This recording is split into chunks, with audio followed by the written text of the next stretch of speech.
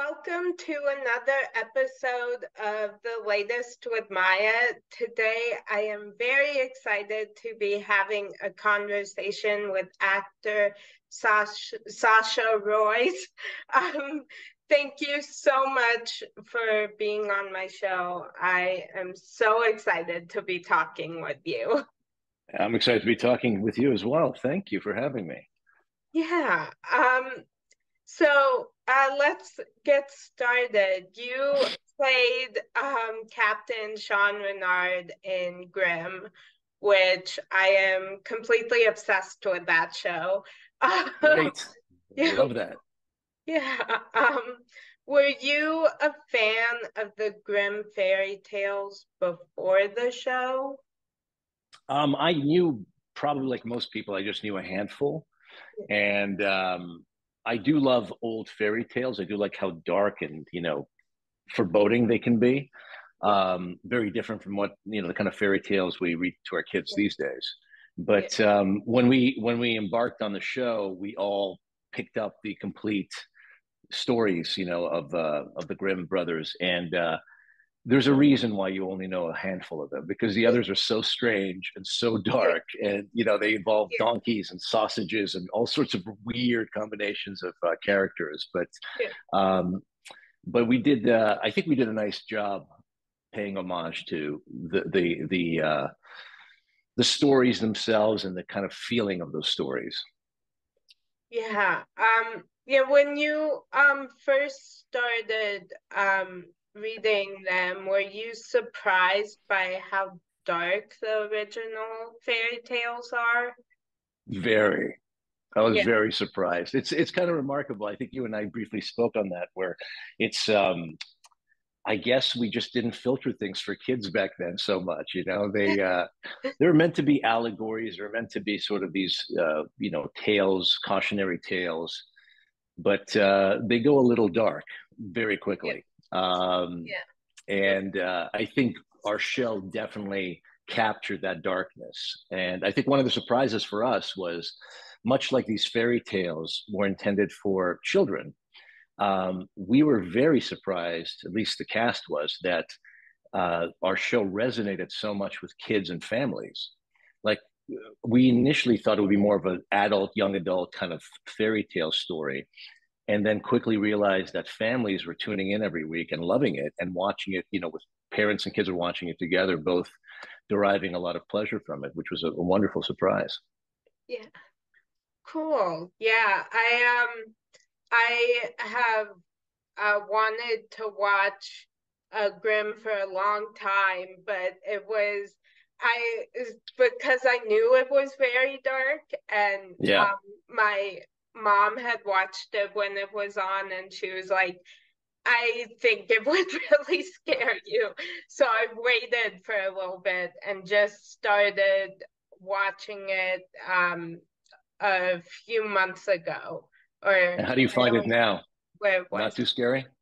No, I still find it creepy. it's pretty creepy, right? Yeah, I know. I know. I, I, was surprised how many young kids would come up to us and be like, "You're watching it at this age?" Because I I found it pretty creepy sometimes and pretty gory as well. Yeah, I can't watch it when like it gets dark outside.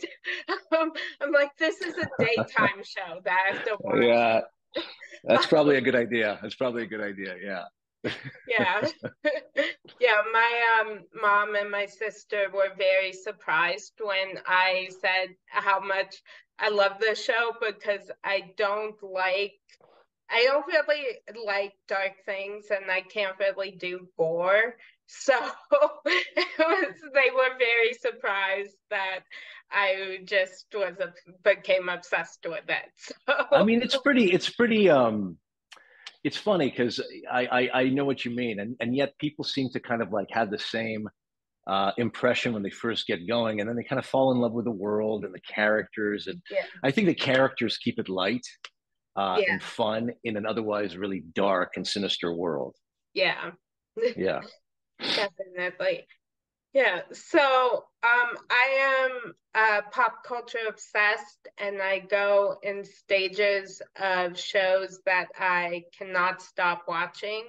And so, as I mentioned, I am obsessed with Grimm and also just finished watching Suits, which oh, okay. we're into. Yeah. Um, what show are you currently obsessed with? Oh, that's a great question. Um, what am I obsessing with? I've been falling behind a little bit on my shows, to be honest with you. I'm trying to catch up with movies these days. I've been um, I'm not the best TV viewer. I've been like watching movies and reading a lot these days, trying to catch up on some books and stuff. But um, you know, I'll let me circle back to that because I always blank. You know, I'm I'm so lame when it comes to TV. I'm I'm like obsessed with Jeopardy of all things. Like I like I still love Jeopardy ever since I was a kid. But um yeah, let me let me circle back. I'm just trying to think what's the last show that I finished watching? It's been a minute. It's been a minute. I'll get back to you on that. Okay. yeah. um so, how do you keep yourself motivated to create even on days when you aren't fully feeling it? That's a great question. Uh, you know, we just came out of a writer's strike. Yeah. And so we've been like out of work for months. And so that was very challenging for a lot of us, right? Because you're trying to stay busy and stay creative. And so, like I was telling you, I've been reading a lot these days and catching up on a lot of um, books and plays. Um, I'm in New York, so I actually attend a lot of theater. I attend a lot of performances, and that really recharges me and kind of like fills my cup. Um, I travel. I, you know, I definitely. Um, I'm trying to create. I have a couple of projects myself that we're pushing forward. You know, scripts that we've co-written and are trying to get produced. So, you know, different ways of trying to get your creative juices out and and um, and to stay connected uh, artistically. But it, it can be challenging. I mean i think the definitely when i talk to young actors the thing that i often say is you know it's not really how you spend your days when you're working. That's easy. It's when you're not working what are you going to do then? How are you going to you know occupy your time and stay creative? And that's that's that's always like a, a really interesting and challenging exercise. Yeah.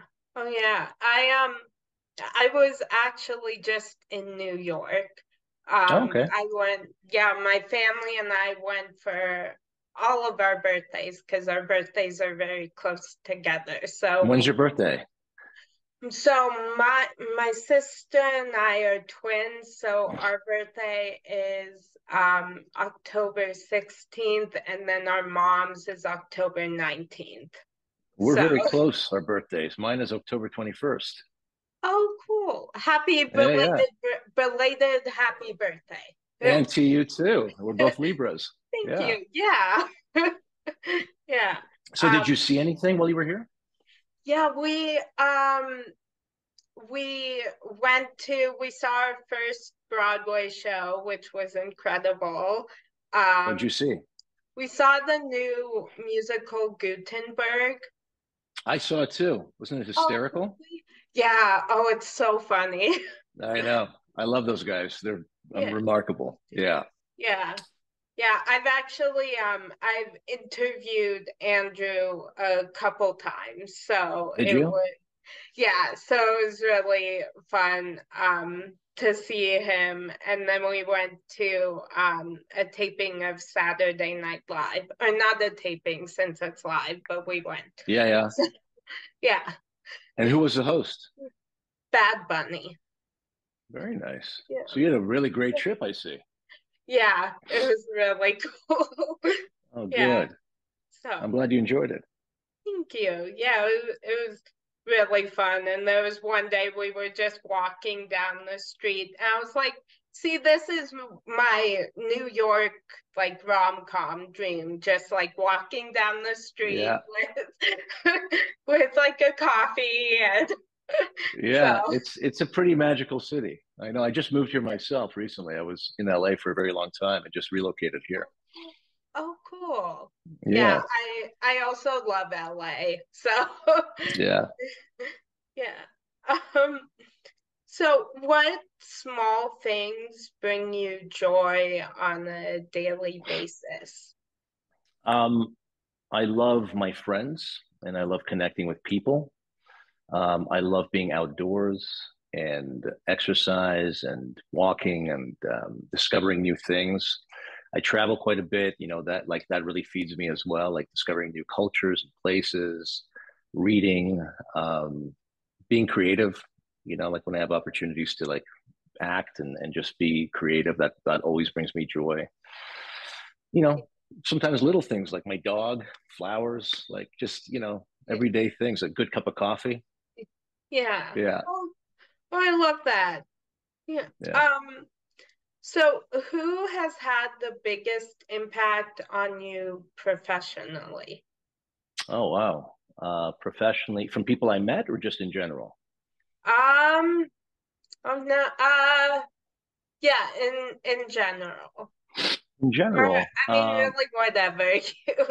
well, I mean, you know, um, a variety of people at different stages of my life. I was um, I was a young kid in Montreal. I grew up in Canada in Montreal, and at that time, I was a very, and I still am, a huge uh, admirer of Leonard Cohen, the great poet and, and songwriter.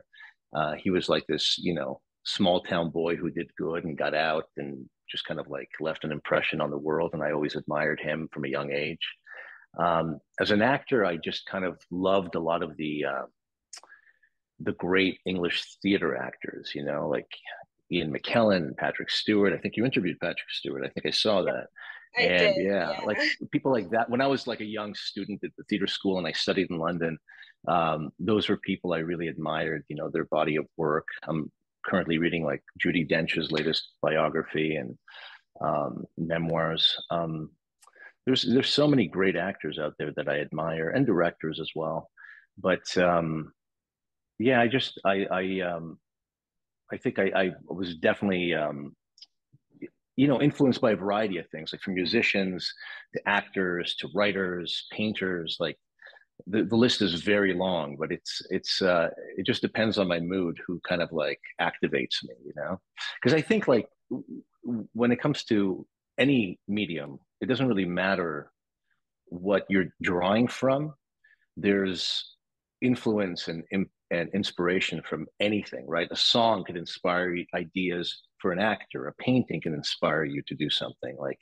So it's kind of like uh, very diverse but as far as like um, actors that I love, I mean, a lot. I think just a lot of the, you know, the um, a lot of the the the sort of like veteran actors that I grew up with, uh, watching and admiring, like some of the ones I mentioned, so many, many, many others. But yeah, I, I kind of like. Um, you know, I have a few of my idols, like I mentioned, Leonard Cohen is one of them, and some great painters, some great writers but it kind of changes. It's a moving target a bit. Yeah. Um, oh, cool. So, um, who has had the biggest impact on you as a person? Oh, my parents for sure. Yeah, my parents had a, a huge impact on me. You know, my parents were immigrants and they had uh, two immigrations uh, in their life. And um, really sacrificed a lot for my brother and I and inspired me to like take risks. Like I probably would never have become an actor had it not been for watching them. They I don't think they even realized at the time that they were kind of like Im- imbuing me with this um this sense of courage because watching what they had to go through made my decisions seem so trivial in comparison and so my parents definitely their journey and and uh, and their support for me has been massively influential. Um, and then some wonderful people along the way, teachers and uh, that I've had like um, as a student, like throughout you know my theater school years and and subsequently, um, were highly influential as well. People who kind of like helped me figure out who I was and not not be small, not be like um, not hide who I am, but to like bring it forward and to you know to apply it in my life and in in in art as well like because that's what you need to do you need to really bring your your true self forward and that's hard sometimes in our world yeah oh i love that yeah, yeah. Mm. um yeah so what lessons from your childhood have most impacted your worldview? What lessons? Um Well, you know, I, I myself was an immigrant. We, my parents and I came over to Canada when I was about six years old, and um, I think when you come over, uh, or when you're not inherently from a place, um, you always feel like a little bit of an outsider, and you always feel like you're trying to fit in. And so I think that is really of all the things that I've experienced in my life, and a lot of them have obviously influenced who I am. Um, that initial sort of sense of being an outsider probably is what lent itself to me becoming, you know, um, an actor or a, an artist because you're always trying to kind of express yourself and find a way to kind of connect with people um, because you felt so kind of out of place initially. Yeah. Yeah. Yeah. I love that. Yeah. Um, yeah, my mom has always taught me since I first got sick when I was little that there's like no matter how bad the situation is, there's always some sort of joy to be found.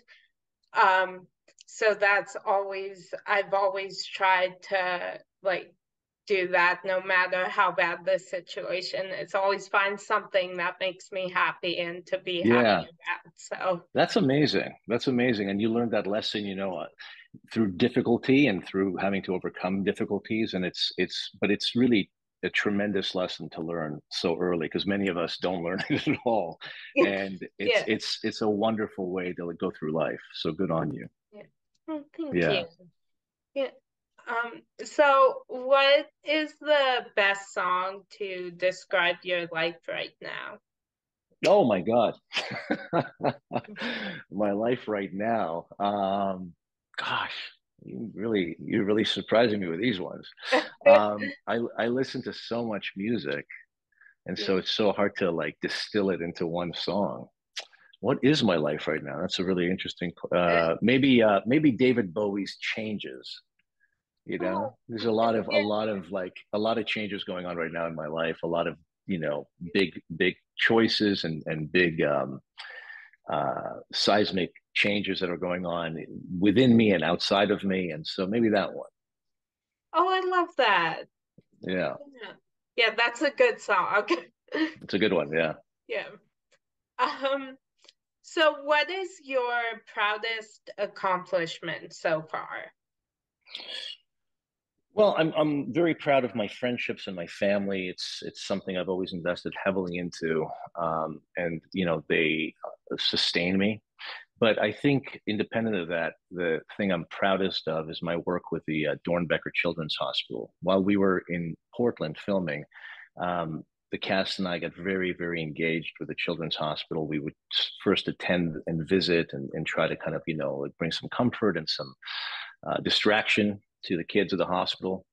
And then eventually we built a an endowment uh, called the Grimmster Endowment, based on the, the the name of the fans, our fan base. And we held three galas over the years, and we had multitude of sponsors from Nike to you name it. Like the whole city really came in to support us. And by the time we left Portland, we left this beautiful um, gift that uh, is now the biggest endowment in the hospital's history. It's worth several million dollars, and it brings a lot of help to uh, families in need. You know, as as you as you well know, like there's a huge toll on families financially uh, as they deal with like illness, you know, their children's illnesses, and so it's just to help them, give them a little bit of a reprieve from from all that stress and all that difficulty, and it's something I'm I'm really proud of that we that we left this beautiful gift to Portland, which is a city that gave us so much, and we were able to give back. Oh, that's incredible. Yeah. Yeah. Um, yeah, that uh, that's just that's amazing. Yeah. I'm still I'm still engaged with them. I still I'm um, proud to say I'm a board member still to this day and you know, we try to to to remain as engaged as I can and and uh, but it it gave me more than I gave it. It was really a, a, a wonderful experience. Oh, I love that. Yeah. Um, what is something that people are always surprised to learn about you? That I'm a nice guy. because I because I play all these baddies on TV yeah. often. Uh, I think Suits, you mentioned, was one of the one of the only roles where I was just a nice guy, you know, uh, which which made my mother immensely happy. She goes, "Oh, finally, yeah. I could finally see you smile on television." Um, but most yeah. of the time, I'm always playing these sort of devious, you know, diabolical characters, and people meet me and they're like, "Oh, you're actually kind of nice." I was like, "Yeah, no, it's I'm just pretending." yeah. but, uh, yeah. Yeah. And I think people are always surprised that I'm actually tall in real life. And I'm like, well, you know, that that that yeah. the camera's pretty accurate. I was tall on TV, I'm tall in life. Yeah. Yeah. yeah. um when you have a day off, uh, what would your perfect day look like? Oh, perfect day. Well, it's it's kind of like a beautiful fall day, like today. Um, you wake up and get a coffee and have some beautiful sunshine, walk around, have my little dog with me, you know, maybe meet up with a friend, um, get in some exercise, get in some reading, maybe catch a play. I mean, just a perfect New York autumn day is like heaven for me. Oh, Walk through the leaves as I did this morning. Yeah, it's, it's kind of magical. Oh, I love that. Yeah, yeah. Um, the autumn and winter are like my favorite seasons. So oh, that oh, really? just yeah, always makes me like in the fall just walking through like as all the leaves are changing and falling down. I think it's because we're we're autumn birthdays. I think we probably it yeah. resonates with us.